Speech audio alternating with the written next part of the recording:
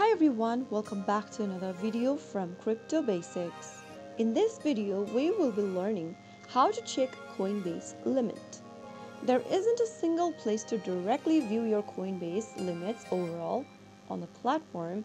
However, you can check your limits for a specific action by following the steps provided on the video.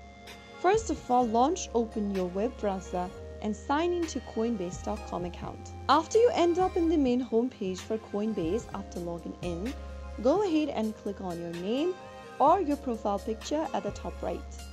Click on Settings in the pop-up. Inside the Settings menu, click on Account Limits. In order to check your account limits, you'll first need to make sure that you've completed your documentation verification for Coinbase. If you haven't already, this is where you will need to go ahead and complete it right now. Click on complete document verification and follow through the instructions and then you will be able to increase your limits on Coinbase. But in order to check your account limits, you will not need to complete the documentation verification. Simply go ahead and view it at the top of the screen.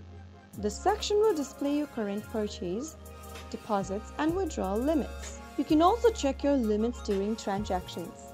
When you are attempting to buy, sell, or convert cryptocurrency on Coinbase, the platform will often display the remaining limit for that specific action directly on the transaction screen.